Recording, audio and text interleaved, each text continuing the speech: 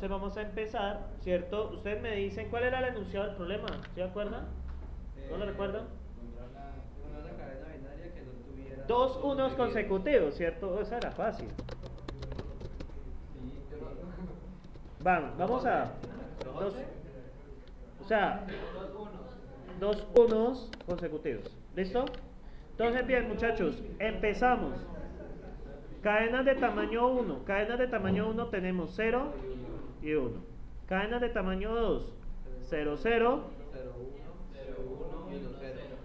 y 1, 0. Cadenas de tamaño 3. No, para que no fuera dos.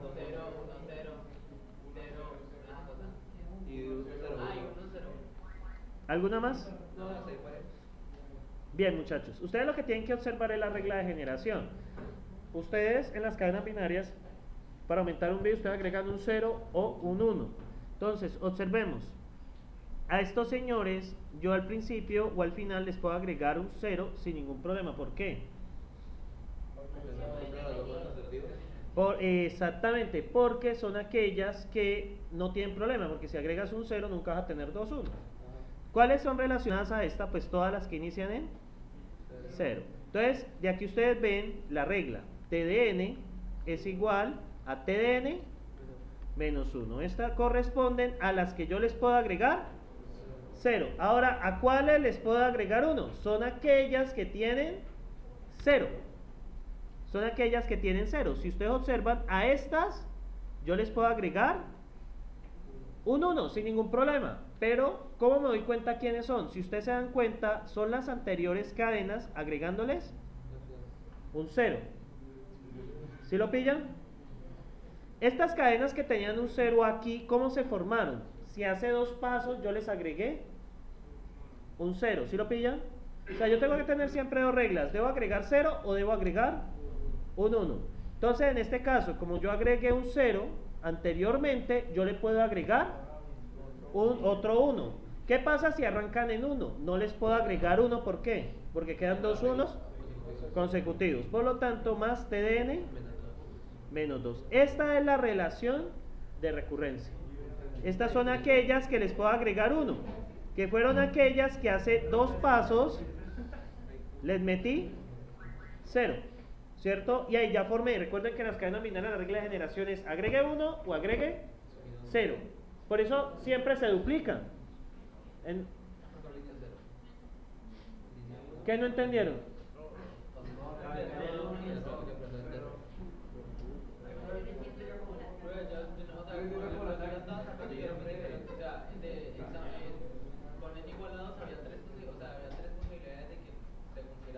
Ajá.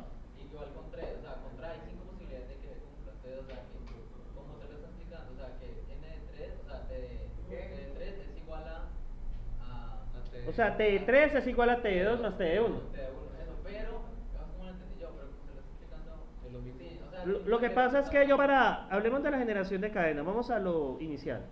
Yo para generar cadenas, yo puedo, cada paso es un paso recursivo. Yo a cada paso le puedo agregar 0 o 1. Aquí puedo sacar 0, 0, 0, 1, 1, 0 o, estoy explicando en forma general. Luego, para generar las de tamaño 3, agrego un 0 o, o un 1. Agrego un 0 o un 1. Agrego un 0 o agrego un 1. Agrego un 0 o agrego un 1. O sea, yo lo pienso es por el tema de la generación de las cadenas. Las cadenas binarias, dígame. Al principio o al final da lo mismo. Da lo mismo. Usted verá por dónde los agrega. ¿Sí? No importa. Siempre y cuando los agregue siempre al mismo lado, es lo mismo. Yo aquí decidí agregarlos al principio. O sea, usted los puede agregar al principio o al final, da lo mismo, siempre y cuando la cadena de generación siempre conserve que es al principio o es al final, o sea, sea coherente. Entonces, ¿qué pasa? Si me entendieron la parte de la generación, ¿es clara? Ahora, ¿qué pasa aquí? Listo, yo tengo que mirar ya cuando me ponen condiciones, porque vea, la relación de recurrencia siempre va a ser de esta manera. ¿Por qué? Porque este 2 realmente es tdn menos 1 más más tn menos 1. ¿Por qué? Ajá, exactamente. Estas son las que les puedo agregar uno y estas son las que le agregué cero. Eso significa que a todas las anteriores les puedo agregar uno y a todas las anteriores les puedo agregar cero para generar las cadenas pues, del, del bit siguiente. ¿Ya? Por eso es que siempre se multiplica por 2. Siempre hay 2, 4, 8, 16, 32, 64 y así sucesivamente, cadenas binarias. Ahora, ¿qué pasa? Nos toca mirar aquellas que no tienen dos unos consecutivos. Eliminemos aquellas que tienen dos unos consecutivos. Muchachos, callados. Dos unos consecutivos. Esta no va, esta no va, esta no va, esta no va y ya. Entonces uno tiene que mirar, bueno, si usted ve que si hay una que no cumpla en n-1 no existe más adelante. ¿sí? O sea, por ejemplo aquí esta no va a generar más. ¿Por qué? Porque ya no cumple, ¿cierto? Este pedazo ya no cumple. Yo tengo que mirar ahora, bueno, tengo que debatirme es bajo qué condiciones puedo agregar 0 y bajo qué condiciones puedo agregar 1. Si usted puede ver bajo qué condiciones puedo agregar 0, usted observa aquí las de 0, que son las más fáciles de ver. Yo a estas, miren las anteriores, yo a esta le puedo agregar 0, a esta le puedo agregar 0, a esta le puedo agregar 0, ¿cierto? Estas son las anteriores, y no en la de abajo. Entonces miren que a todas les pude agregar 0, sin problema. Entonces por lo tanto sale que TDN es igual a TDN menos 1. Este TN menos 1 me representa aquellas que les pude agregar un 0. ¿Sí? Estas son aquellas, o sea, miren que yo a las cadenas de nivel 2 le pude agregar un 0 sin problema para convertirlas de tamaño 3. Es no hubo problema. Ahora, el problema es cuando yo tengo cadenas que inician en 1, ¿cierto? Pero yo no puedo saber a ciencia cierta cuántas hay, ¿cierto? Yo tengo que mirar es cómo las saco. Si usted ve, ¿cierto? Observen, a esta que les pude agregar 1, cumplen una condición muy particular, que este inician desde 0, observen. Eh, no, esa no se cumple, sí, sí, tienen razón.